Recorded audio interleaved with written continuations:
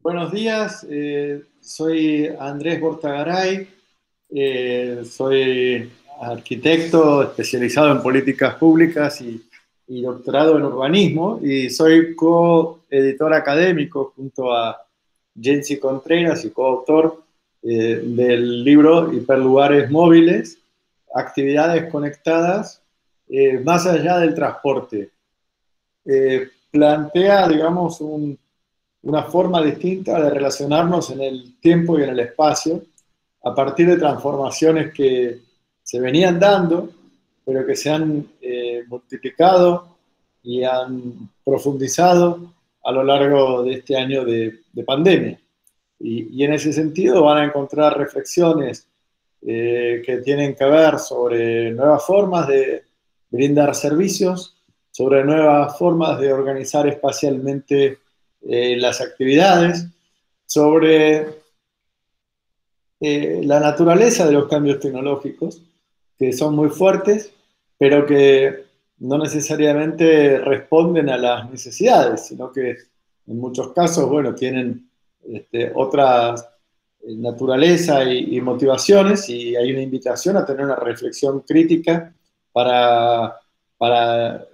ver cuáles son los sentidos finales de esos cambios tecnológicos y no abrazarlos como un fin en, sí mismo. Y bueno, definiciones sobre también teóricas, sobre la perspectiva espacio-temporal de Chile, este, sobre el, desde Brasil también una mirada de transición y ruptura en estos lugares. Y, digamos, los grandes títulos serían una serie de estudios de casos en América Latina, a partir de, también de, un conjunto de autores que no voy a poder mencionar en su conjunto en este breve espacio, pero,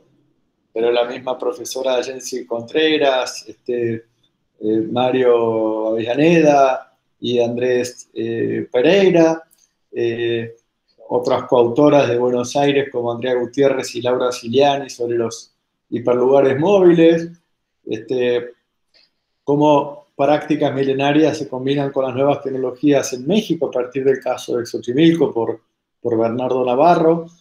Quiero destacar especialmente a un equipo que desde San Pablo, eh, la Universidad Mackenzie, encabezado por Angélica Albín y junto a otras autoras, Vivian Rubio, este, Eunice Abascal y Paulo Olivato, eh, que reflexiona sobre los hiperlugares en San Pablo y qué desafíos traen para el planeamiento urbano, y dos estudios de caso, uno desde Río de Janeiro, el trabajo y el estudio por parte de Fabiana Izaga, y desde Uruguay, una escuela móvil de, arquitectura. Y después eh, quiero destacar, este, en este caso lo voy a hacer un poco como, como capítulo, la contribución de investigadores jóvenes latinoamericanos que no formaban parte del cuerpo eh, que teníamos articulado para desarrollar este proyecto, eh, pero que respondieron a una convocatoria con sus propuestas de trabajo y fueron seleccionados por,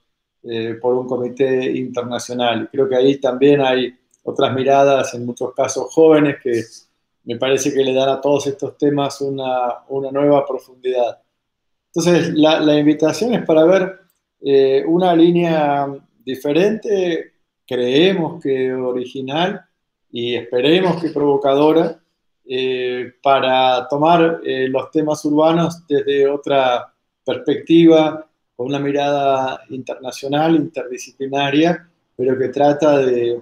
partir de los problemas reales de, América Latina. Así que, bueno, muchas gracias y, quiero decir que la invitación es a leer el libro, pero también a ver una serie de cortos documentales que ilustran algunos de los capítulos y pueden ser eh, un complemento muy, muy interesante y también eh, eh, se puede escuchar y ver personalmente a cada uno de los autores